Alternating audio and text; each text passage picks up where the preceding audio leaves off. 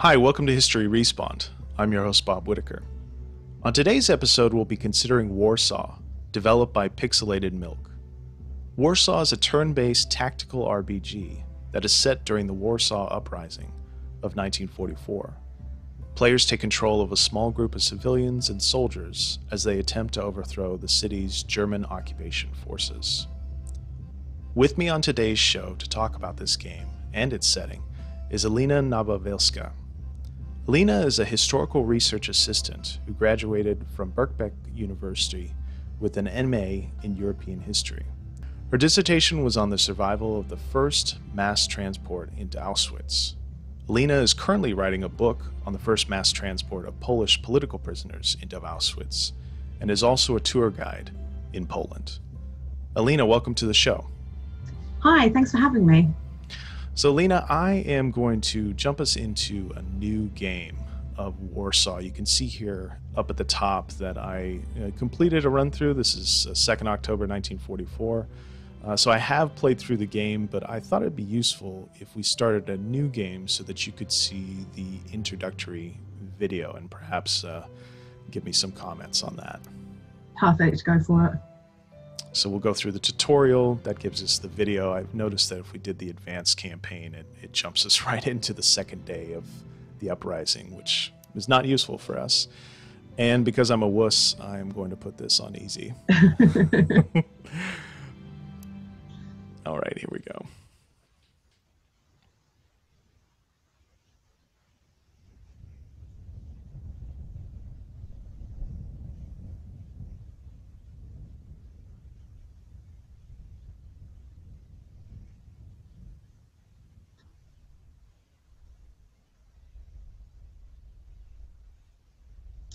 There's little hope for release.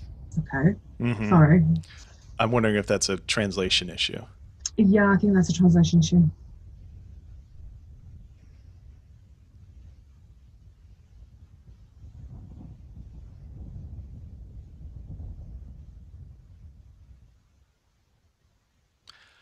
So this uh, number of people living within the uprising area, this is an uh, important number historically, but then also uh, for the game.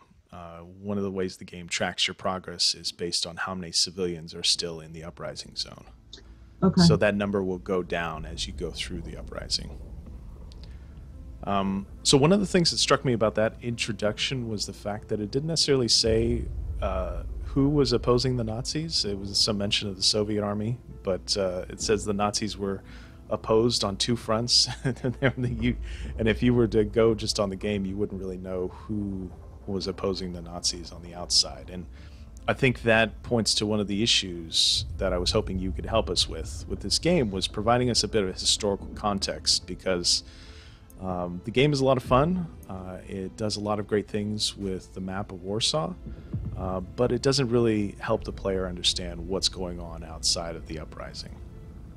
Yeah, no, I, I completely agree. I mean, obviously, historically, in a game like this, I can't, I can tell you the context, but they can't go far back because people are going to get bored. Um, but if I'm going to tell you about the context, I can do you. I'm going to give you as quickly and as briefly as we can with this, because otherwise we could be. I could do a whole podcast on just this very topic.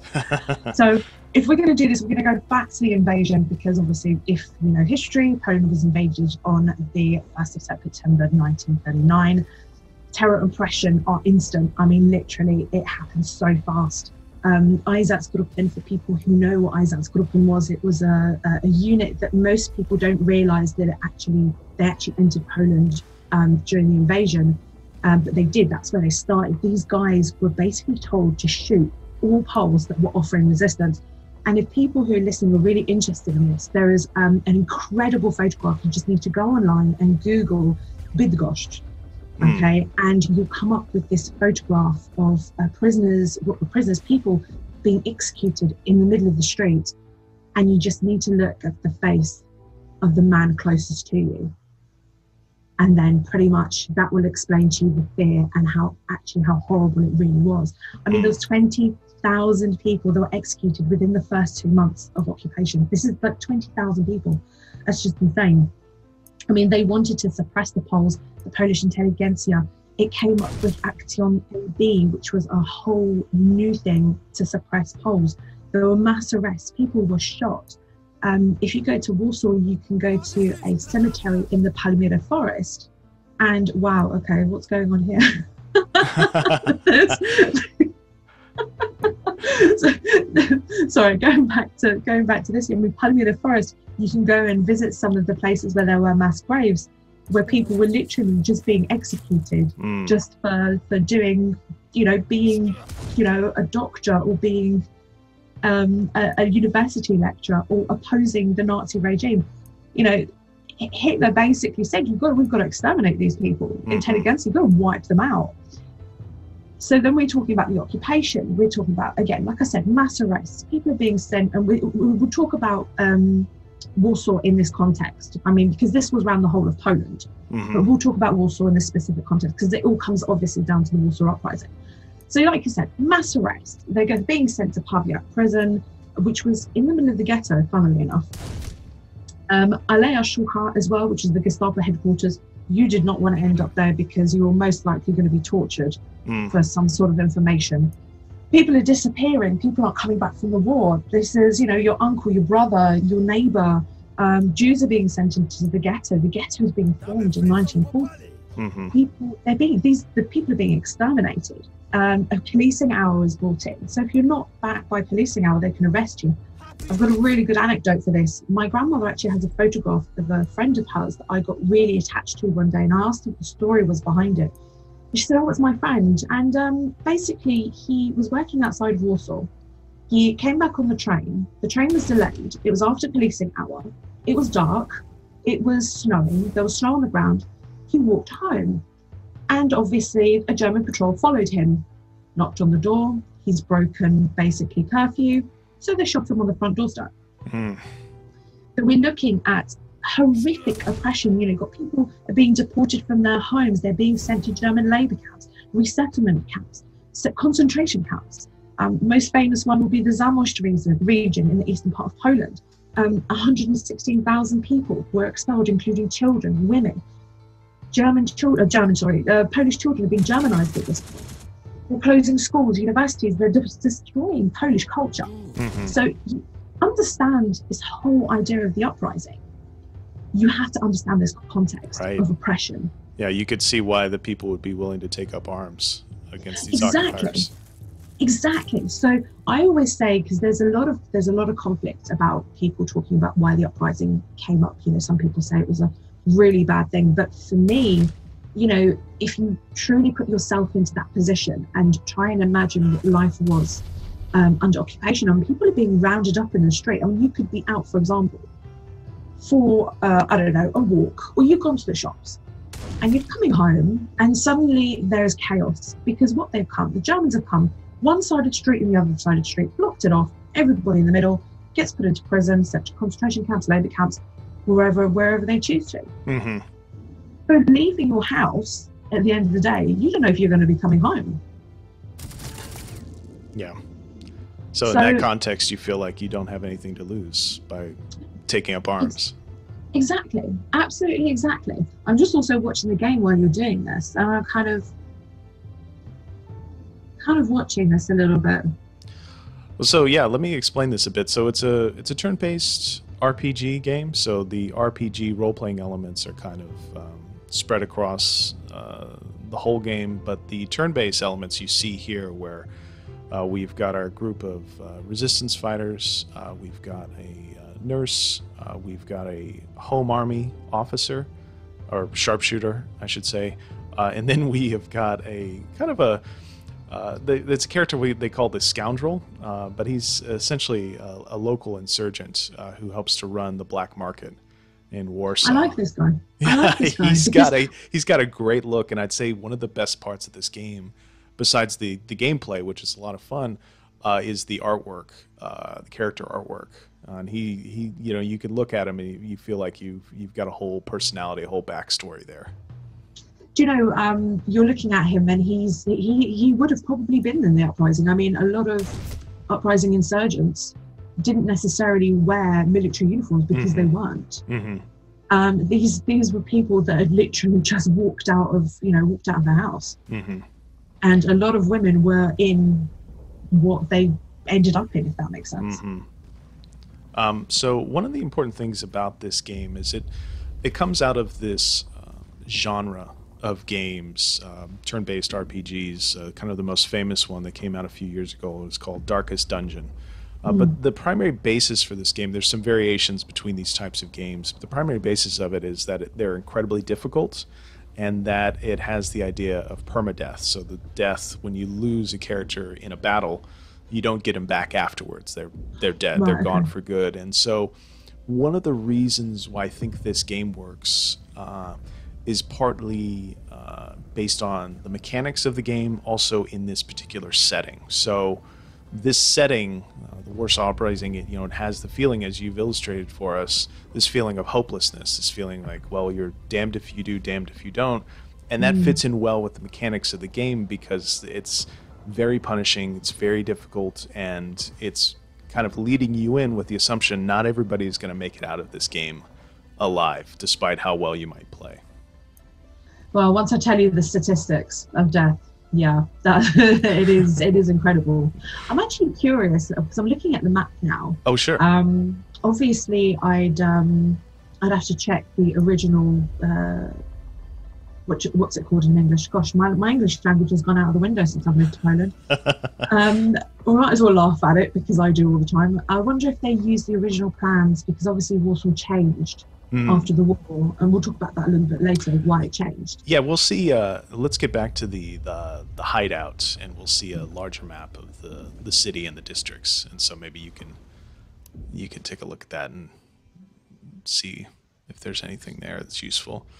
Uh, so this is the kind of um, daily summation page. You see, we're on the first day of the uprising, um, and then we've got the various districts of Warsaw here, and in each of these districts we have uh, a uh, red bar denoting the morale uh, for that district. So if a city's uh, city district's morale goes down to zero, then that district surrenders, and that means that you lose the supplies and ammunition that you get from that district. So the kind of metagame for uh, the RPG elements is attempting to maintain uh, these districts and their morale so that you have enough uh, supplies in order to go out and do missions around the city. Can we can we pick anyone? Uh, pick any one of these districts. Yeah. Yeah. Uh, so let me get to the. I'll get to the screen where you can see that.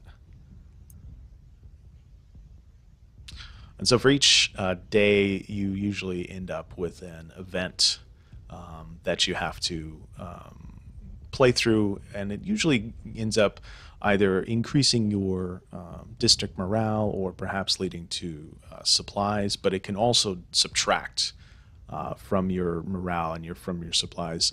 But the thing about these uh, events is that it does give you a little bit of context into what's going on outside of your playthrough with the uprising. Um, so here you've got a mention of a, a Nazi outpost, uh, and there's enthusiastic sentiment to try to gain traction and use the resistance fighters to go after that. But of course, mean, um, making this decision comes along with risks. Uh, that it means this could go very poorly for us if we make the wrong decision. So we could say yes, go ahead and let the clergyman lead this assault, or say no, uh, please go away. So, What would you What would you suggest? I well, mean, I'm I'm going to leave it up to you. You're the guest. oh So, gosh, I don't know. Um, because the thing is, there's there was a lot of clergymen that were involved in the uprising. I don't mean directly in fighting. mhm. Um, these guys were holding mass. They were helping morale, uh, cooking, um, all sorts of various different things. They even, you know, they even um, did marriages. Mm. So I don't know what, what English. I've lost the English word now for what it means to uh, officiate. That's the word. They yes. officiated marriages in the middle of the uprising. These guys were absolutely incredible. Um, to be honest, I don't know if I should trust. I'm, I'm not going to trust the clergyman because he's not, unless he's been trained as a soldier. See, I need a bit more context here. Was he trained as a soldier? let's let's dismiss him for now. Okay. So dismiss the clergyman. I feel really bad for doing that. Pointless to waste lives, right? Based on revelations. Yeah. Okay. Well, so we didn't get any negative effects. If something bad had happened with that, then it would have come up here. So I think that was probably the right decision. I'm glad. I'm glad. I'm Good glad work. Good work. All right, so that finishes the first day, and now we start day two. And you can see here, this is the number of civilians in the city.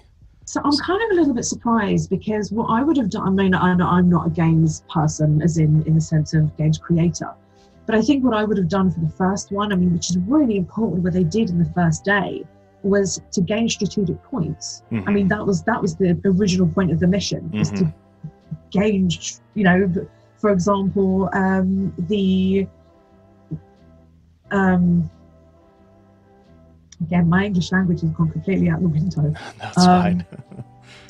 power plant that's the word i was looking for so for example in they gained the power plant you know so they had power to the whole whole whole city they can control that Mm, um and that was probably one of the most important things to do was to gain these points and that kind of doesn't say this yeah, and I think that's one of the more disappointing parts of the game is it's missing that kind of uh, context. And I think in some ways that historical context could actually help the player further immerse themselves in the game world. Um, yeah and to maybe um become a little bit more attached to the, to the people because Yeah, there was a yeah. there was a very high death rate in the first first few days i mean we're talking about insurgents we're not talking about civilians that's a whole different other topic mhm. and you know people so many people were dying in the in the first few days that i think i would be feel a bit more attached to the game if i had something like that So you can see here, this is the uh, hideout, the safe house, uh, and this is where your characters uh, heal up and restock before they go out on missions. Uh, you can see here the uh, the emblem of the resistance or the home army. I'm not sure, but uh, this is what gives you your, this is what gives so, you your um, uh, your missions and to get over a city overview.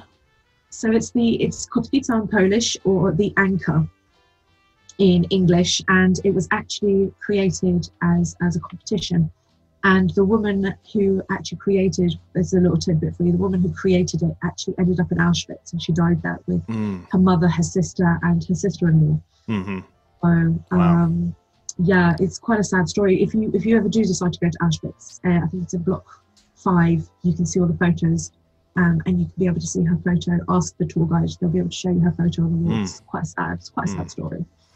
Um, so Right. see here, we've got uh, the different districts of the city, and then once we go in and pick a mission, uh, it will uh, kind of zoom in on that territory. So I'll wait to do that until we're ready uh, to go. I was going to say, can I pick one? Can I can I be the one to pick the absolutely, yeah. You, you, you're the guest, so you get first choice. Um, I thought before we would leave, we would kind of click on some of these uh, characters. We can click on our scoundrel friend here. And he, see here, you've got all of these um, RPG elements, uh, attributes that you can change, uh, weapons that you can change. Um, and unfortunately, it doesn't give us a, a backstory for this character here, but you can go over to this uh, bookish looking friend here, uh, the archive. Uh, he's got a codex, and that includes information about the various characters in Oh, the game. So here's the paramedic. Uh, here is a sharpshooter that you get later on. This is the current uh, home army soldier that we've got, and I thought we would focus in on our friend the scoundrel, and it gives us a little bit of a background on him. Oh, I do like that. So born and raised in Warsaw, illicit exchanges, foreign currencies.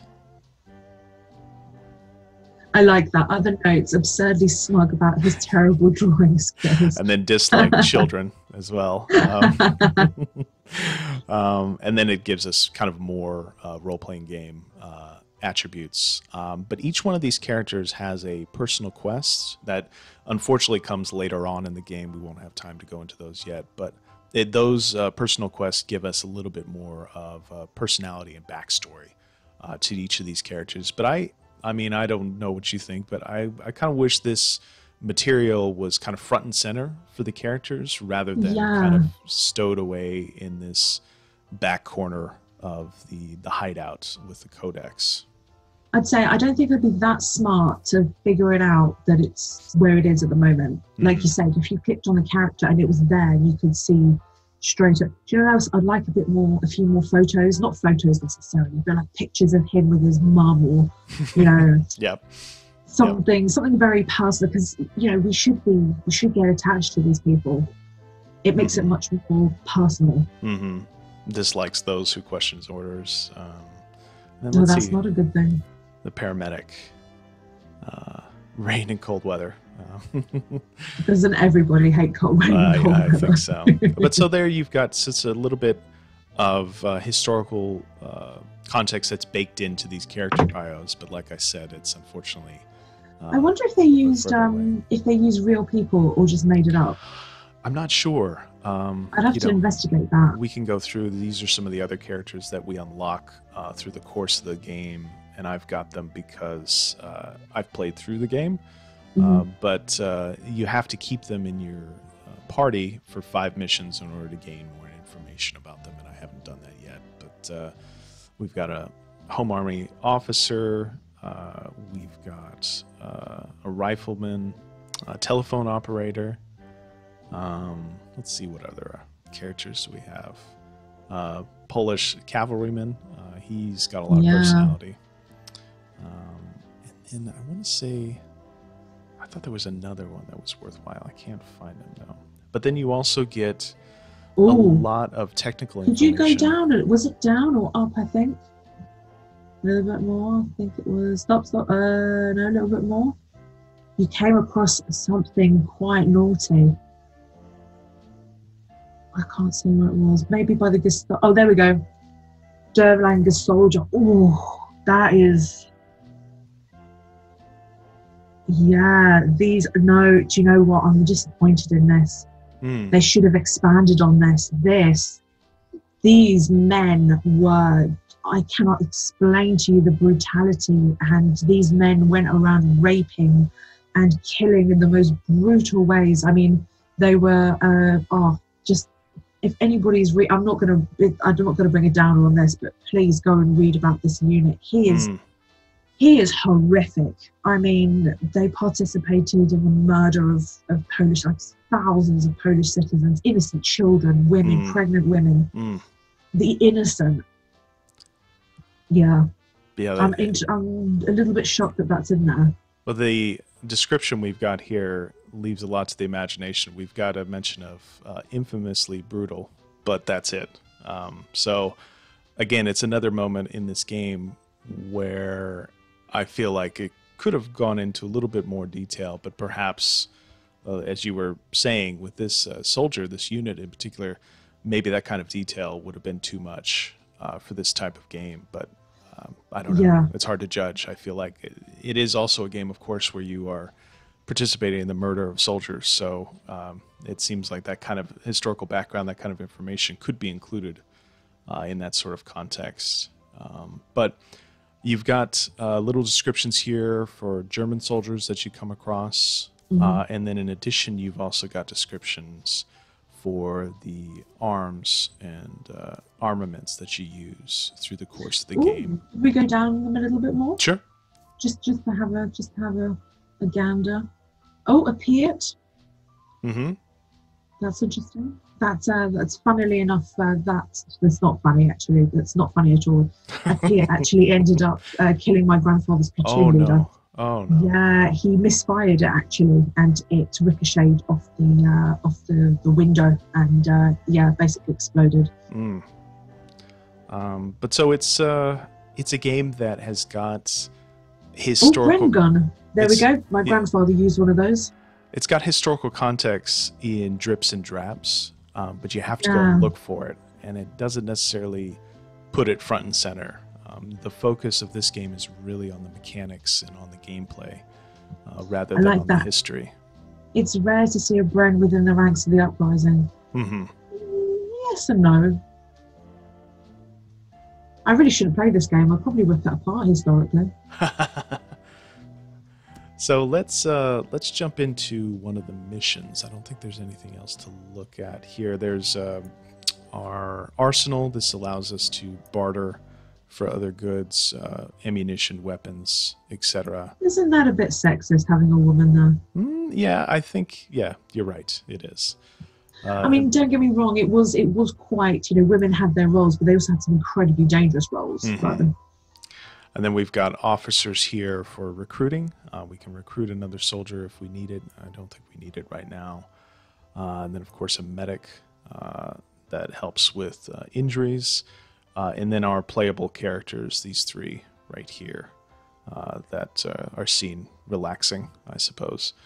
Um, as much as you could relax. Um, as much as you could relax. And so, uh, th- one of the questions I had for you that uh, we haven't quite gone into yet was, you know, who were the type of people that participated in the uprising? Because we've got a home army officer, we've got a medic, and then we've got a scoundrel, and I think it's an interesting mix of personalities and characters. But I'm wondering, you know, does the this you know mix that you see in the game does this reflect reality? Was it a mixture? in the uprising of soldiers and civilians? Oh, completely. Completely. I mean, for example, I'm going to use my grandfather as an example. Uh, he, along with many others, were training for this for, for years, absolute years. I mean, he started his training in 1940 and um, worked in the in the underground resistance at the time, along with, like I said, hundreds of others. There were so many cells that were up at the time. And when it came down to the uprising, they were also operational as actual soldiers. You mm. had uh, women, and women in that time were training to be nurses uh, all through all through the occupation. They um, became liaison officers. These women, they some of them did the most dangerous things. I mean, they would lead soldiers, civilians, and people through the tunnels. They were tunnel guides, and what would happen in these tunnels is the Germans were throwing grenades. They'd um, uh, anything with fire. They love to burn petrol. They burn petrol. I mean, so many of these women perished mm. doing this sort of job. And the worst thing about it, you had children. Mm. There were actual children. I mean, the majority of them didn't didn't fire a weapon, but they were uh, they had the postal service. They ran the postal service. These children, they uh, were liaison officers. They helped with the cooking. They helped with feeding the the soldiers everybody, everybody was involved. I mean, there was a lot of civilians that didn't get themselves involved. Some, some joined in on a whim. You know, oh, I'm just going to fight for my country. Look, there's the uprising. I'm going to join, and they they fought. Everybody, everybody fought, and everybody gave something, somewhere, somewhere, somehow. Um, so yeah, it's pretty correct. There was a massive, massive mixture of people. Mm, great. Well, as you see here, this is the mission select screen, and we've got the districts of the city lit up here. And uh, these uh, districts the are, yeah, thanks. these districts, some of them uh, don't always have a mission. Uh, so, for instance, this one doesn't. Um, but uh, oh, the, the ones that have got uh, a mission, it gives you the mission details, the risk involved, and then the potential rewards that come along with that. And of course, with each one of these, we've got to keep in mind this morale number so that if uh, mm. we were to do a mission in this district, then the morale would either stay up or uh, go even higher. Uh, but if we were to ignore a mission in another district, then their morale and their supplies would go down. So you oh, kind of have to do this awkward balancing act where you're attempting to maintain as many districts as you can in order to increase your supplies, increase your ammunition. Uh, mm. But then you've got it later on in the game too many missions to do, and you've got to make strategic choices as to which of these districts is uh, save. Uh, you could be saved, or uh, which of these districts is most valuable to you. So it really puts uh, a difficult uh, onus on the player to make some tough, tough decisions. Well, that uh, I'd say that's that's the thing that have to be uprising some of the most horrible and tough decisions that you'd have to make. Mm-hmm. Yeah.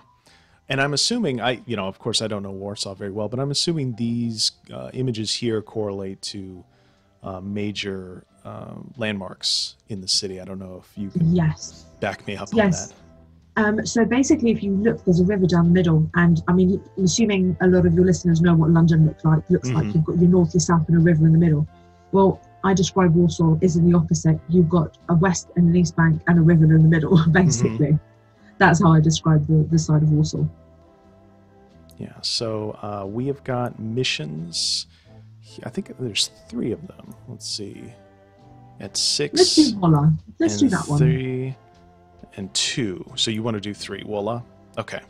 Yeah. Well, you actually clicked on Żoliborz, but funny enough, I'm going to give you a really quick tidbit. So um, the Warsaw Uprising actually started um, at hour W, so five o'clock on the 1st of um, August, but there was some ruckus that actually happened in Żoliborz, funnily enough, um, at about one o'clock the same day, where, uh, uh, I keep saying prisoners, I'm stuck in Auschwitz at the moment, um, where insurgents were moving guns from one place to another, preparing for the uprising, and they basically got stopped by a German unit, and they refused to stop. And there was a whole bit load of fighting up there uh, before hour W at five o'clock. Mm, interesting.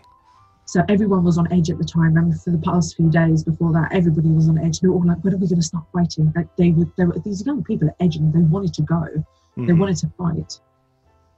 So why did they pick? And I'll I'll jump us into a mission here. But why did they pick the first of August? What was the significance of that date? Was it something to do with the progress of the Red Army? Was it simply Yeah, that was so the the preparation that they made was first of August beforehand, and it was independent of outside forces. What was what was the decision?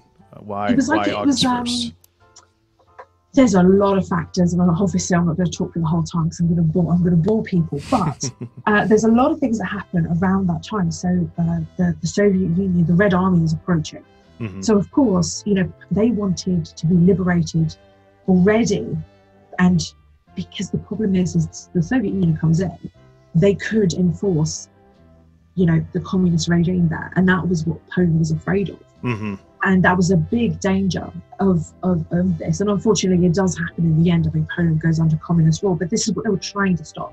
So if they could be free, they could establish their own government, they could have their strategic points, they could be like, you know, now you can come into our free city. Unfortunately, that doesn't happen.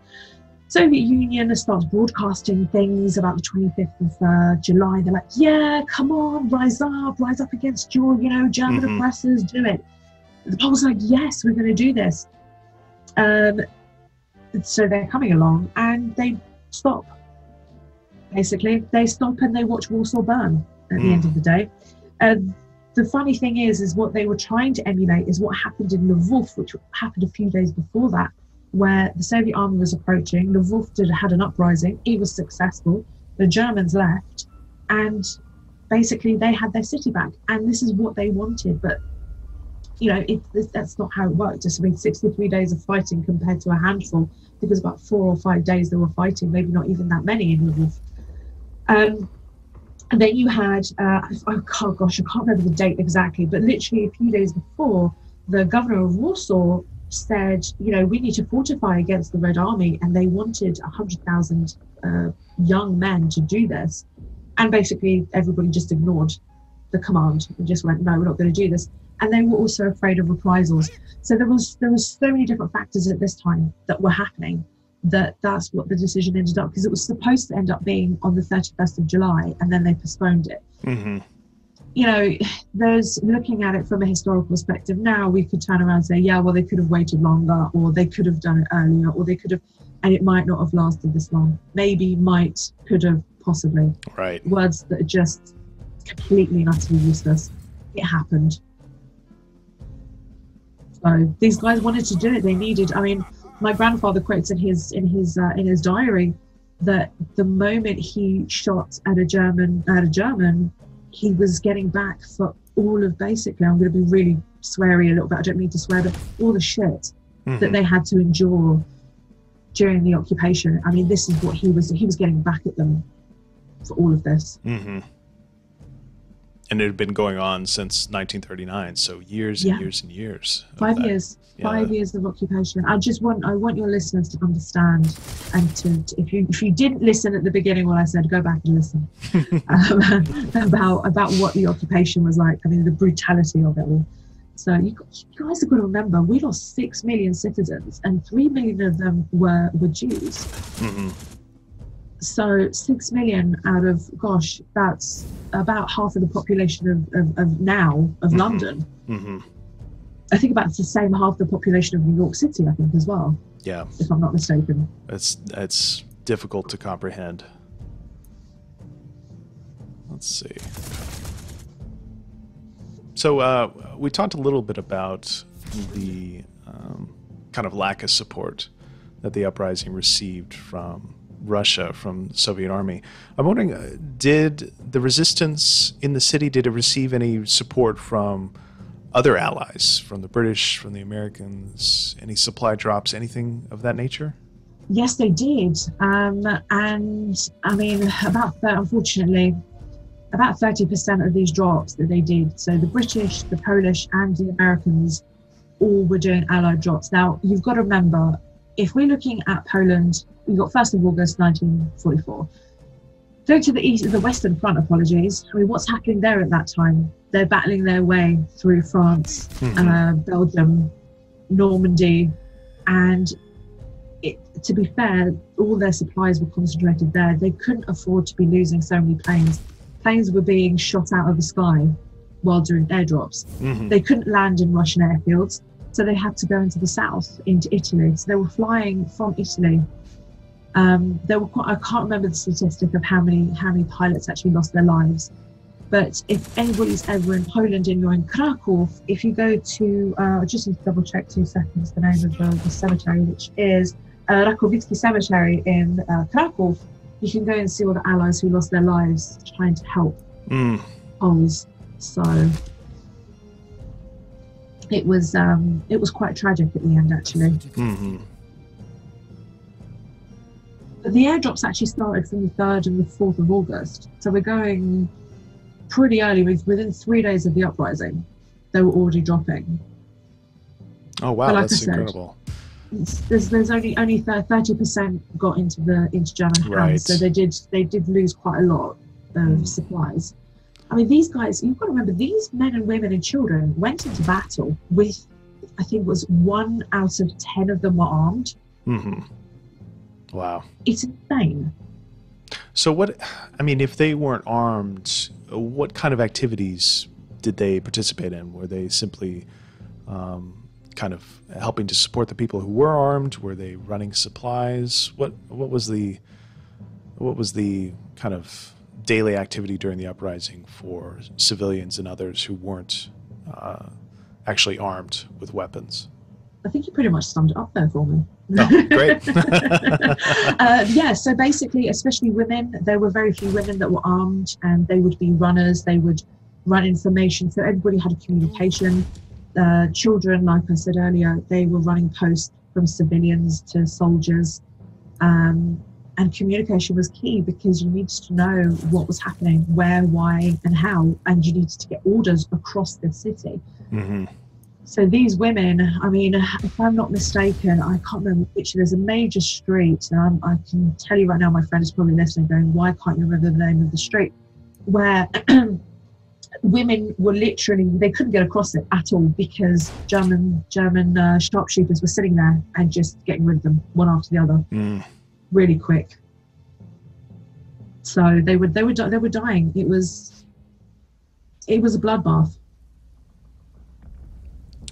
So we come across here, and uh, we've got uh, heavy patrols uh, in this area of the district and um, we've only got so many terms. You see this number down here, action points. Mm. We've only got so many action points with which to complete our mission before it ends automatically. Oh, um? Yes, and so uh, it does put uh, kind of an onus on the player to try to get into a district, get the mission finished, and then move on, rather than kind of sticking around trying to take out all of these um, all these enemies because it's just too much work. Uh, there's only so much that this small band of resistance fighters can do. But you do come across uh, supplies, enemy stockpiles that you can loot. And uh, well, they did. Supplies. That is exactly what they did. That is exactly what they did. Um, if it's uh, uh, Zośka who took it over, actually, they found a store storage with um, uniforms and you know coats and things like that, and they managed to stockpile on those during the uprising. So if you ever look at Battalion Zośka, for example, and you see the German Panzer, you know, the patterns, mm-hmm. that's where they looted them from.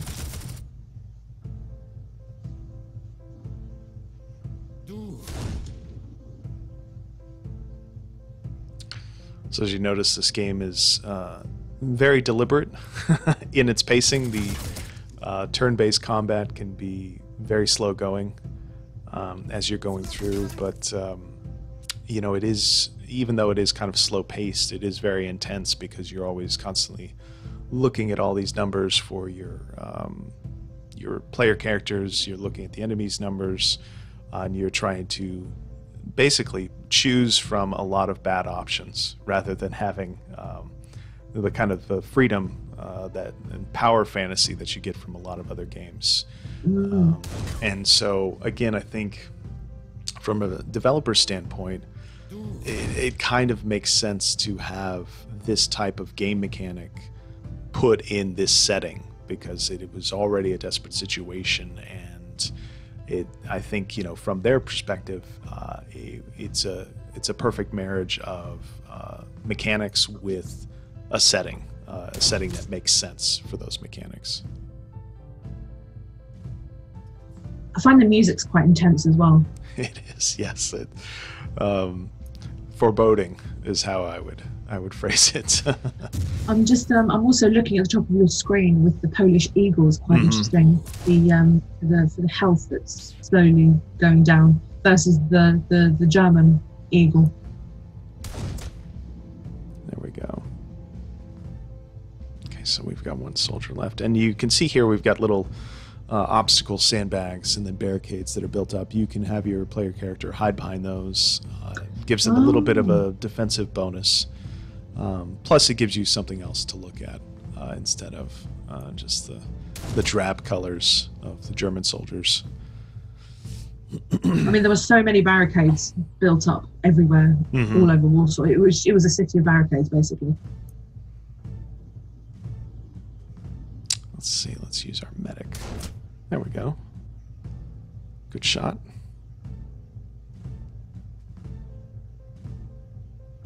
I've got to emphasize how heroic some of these women were. They were just incredible.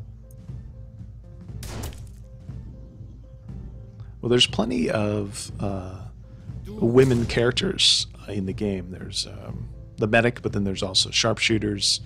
Uh, there's the um, uh, telephone operator. Uh, and she's a really useful character as well. So I think that um, you know you uh, you mentioned it's a little little sexist to have the um, the woman manning the kind of uh, supplies and whatnot, but there are uh, diverse roles I think within the um, resistance group when you go out on Mhm. missions. There's diverse roles for women and plenty of opportunities for them to um, participate not just in support like being a medic, but then also to uh, participate in the actual fighting, which you know as you've mentioned before, they were often called upon uh, to do in this context.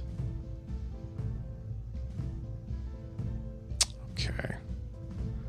So I thought maybe we would just go through and try to finish this mission, and then maybe we could call it an episode. So let's see. So this is a moment where uh, we've got our mission objective here uh, in this zone, and uh, typically when we see an image like this, it has something to do with either local resistance fighters or civilians who are looking for help uh, from the resistance. Oh, that's interesting.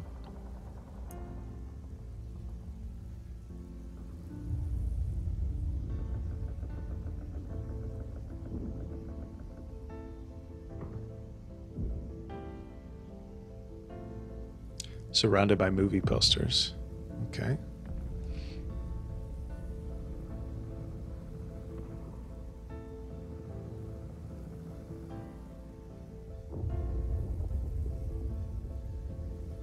So I think this is our um, scoundrel character. Mm.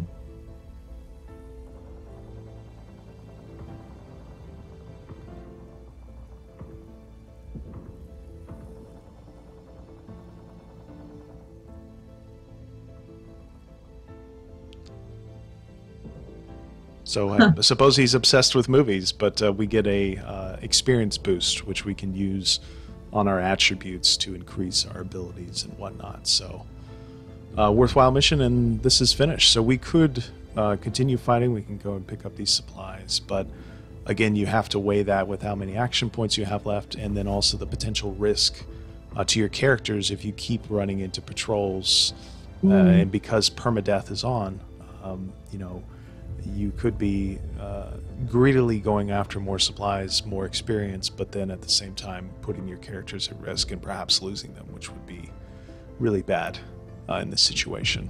So I'm going to Our quit. scoundrel's not doing very well, is he? No, exactly. And so these are injuries that take time to heal. And so essentially, if you've got two or more, you need to sit out the next mission.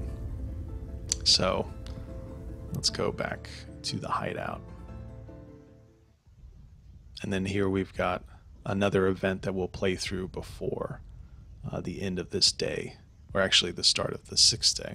So it jumps ahead a little bit, as you notice, plus four days, and that uh, is based on how long your missions take in each of the uh, different combat zones in each of the districts.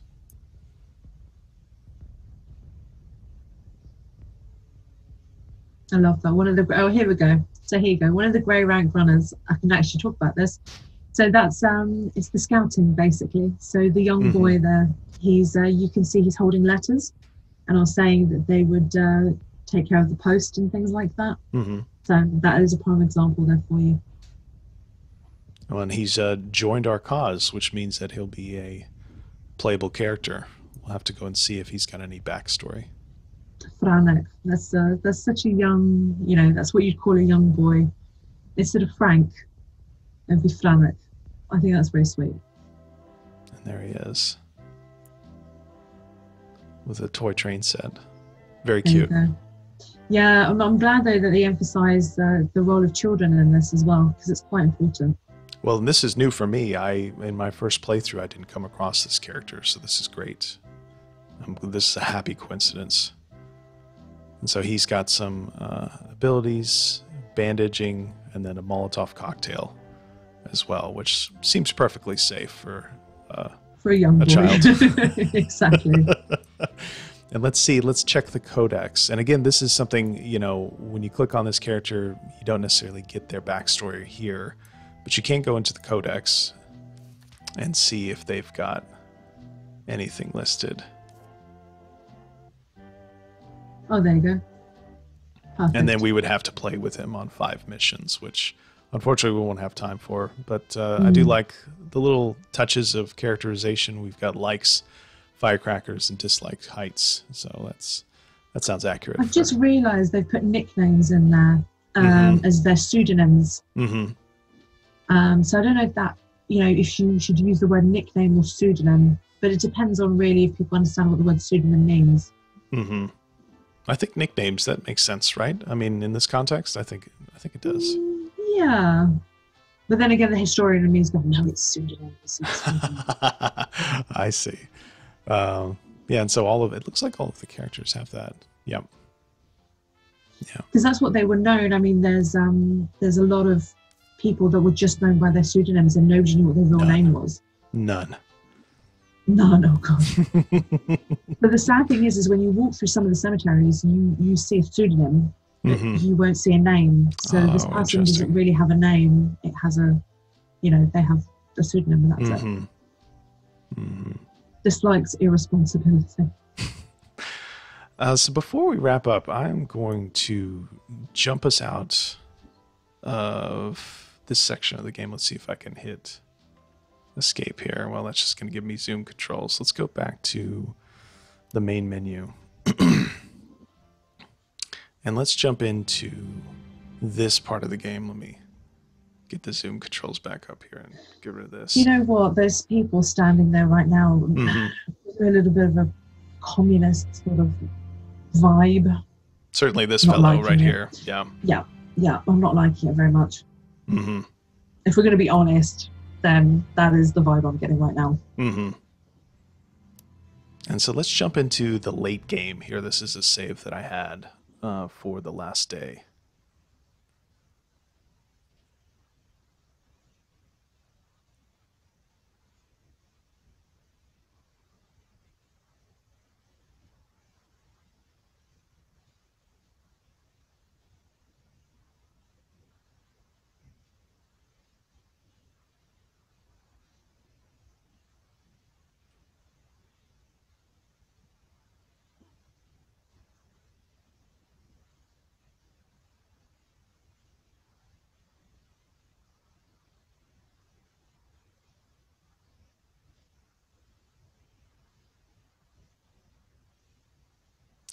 So then this gives us a um, postscript on our characters Mm. that I played through with in the um, the first playthrough that I had.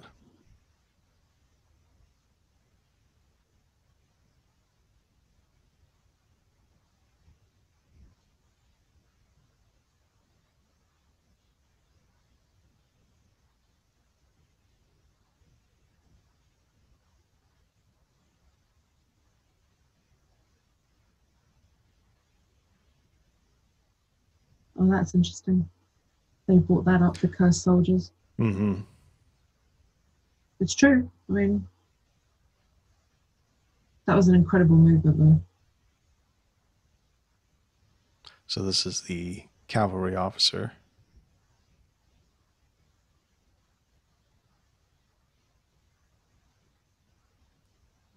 Huh.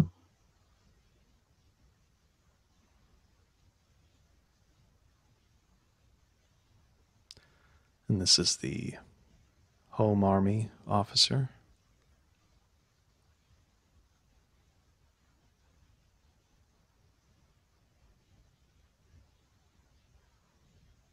Received guests from the new government's Department of Security. Was never seen again.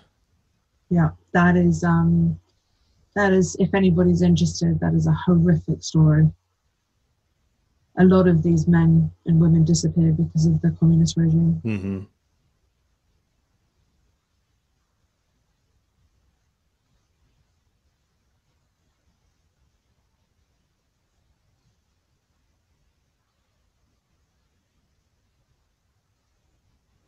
Here's our scoundrel.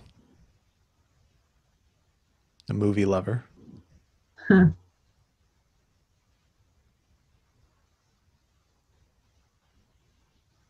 Sent to prison for handling and procuring counterfeit passports.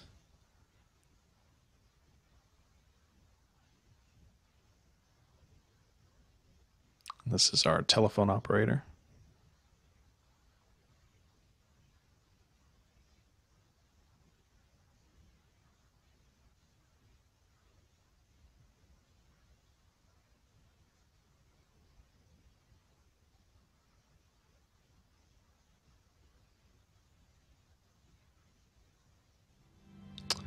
And so that's the end of the game. I don't know if there was anything that you saw in there that was curious No, or interesting. it was very interesting uh, mentioning about the communist regime. It kind of leaves a little bit of a because it's it's a subject that's not really been uh, researched up until now, especially in the Western world. Uh, there's there's no literature from what I know uh, about what happened in Poland, and it's very very sp- sp- not even spoken about. Um, I did a podcast about VE Day and talking about Poland, uh, what happened in Poland during VE Day hmm um, it was hell. I mean, they were basically one occupier for another. Uh, so many people disappeared. So many people ended up in prison, executed, um, or they ended up in prison and were brutally, so brutally interrogated that they were they were scarred for the rest of their lives. Um, especially in Warsaw, there was a notorious prison in Warsaw, and it's they're actually opening it up into a, into a museum. I think in 2022 it was in Rakowiecka, if uh, anybody wants to Google that, or simply Mokotów prison. Um, that's where they executed Pilecki. If anybody knows Pilecki's backstory, um, do do have a look at him. He's a very interesting character. Um, but yeah, it was a it was a hard and horrible time for Mm. Poland. And it seems in some ways they the Polish traded one occupying force for another Yeah, with that the was it. Soviet army. and uh, the Soviets came to, to liberate Poland apparently, but they didn't. They ended up staying, and uh, it was not a good time. I mean, they- it took them what was it about three months to enter Warsaw after the uprising. Mhm. They entered in January, 17th of January, 1945. They sat and they waited till it burned to the ground. Mm. Yeah. I mean, So, I think, um, you know, I feel like I uh, spent most of this episode criticizing the lack of historical context in this game, but I would say this game has gotten a pretty good reception in uh, Western Europe and in um, North America with amongst players, and I think it, it's worthwhile. You know, like you said, there's very few um, secondary sources on this type of history in the Western world, so I think it's really useful to have any sort of history Uh, Yes, no matter how circumspect it is, it's better to have some sort of history about this for Western audiences and for them to be aware of the Warsaw Uprising as a historical event rather than have nothing at all. Um, I can say for myself, uh, as a historian of Britain and North America, that this was really a worthwhile game mechanically, but then also uh, useful for me to learn more about the history, and I hope it does the same thing for uh, people who play it. There are some great books, great podcasts, and great TV series on this subject. So if anybody's interested, just go out there. There's um, do it because the story, this story is not being spoken about much, and it's a story that deserves to be told. And this does it. This at least gets people a little bit interested in it. So Yeah. which is a good thing. Yeah. All right, I think that does it for our episode. Alina, thank you so much for joining me on the show. Amazing. Thank you so much. If you enjoyed this episode of History Respawned, please check us out online at www.historyrespawned.com. And if you enjoy our work and want to support us, please visit our page on Patreon at www.patreon.com forward slash history respawn. Until next time, goodbye.